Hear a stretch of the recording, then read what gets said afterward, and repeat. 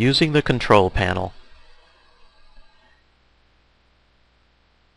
One of the things you got to keep in mind is the control panel gives you many, many different options. After you initialize the cutter, you can press the condition button to change conditions, maybe for materials or speeds and so forth. The LCD panel at the top is going to show you the setup. You can press the up and down arrows to get those conditions to come up.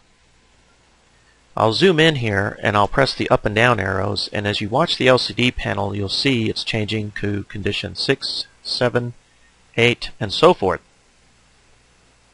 Once you get to a condition like condition 2 you can use the right arrow buttons to actually move the cursor over to different parts like the offset, the force, and then use the up and down arrows to make changes. When you've got your changes set, simply press enter.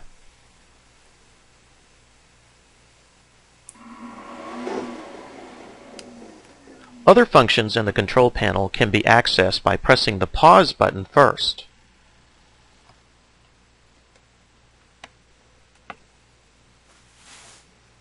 Then use the next or previous buttons to access other options.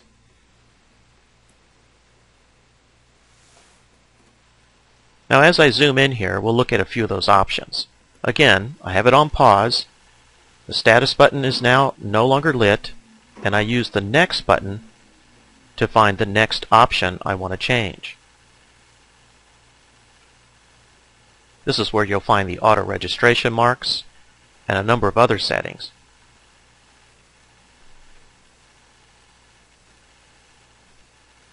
All of these settings are in your manual your online manual that you installed when you installed the programs.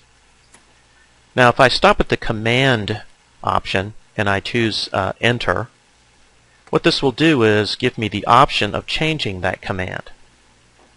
Just use the up and down arrow to do so. When you got it set, press enter and you've set your new options.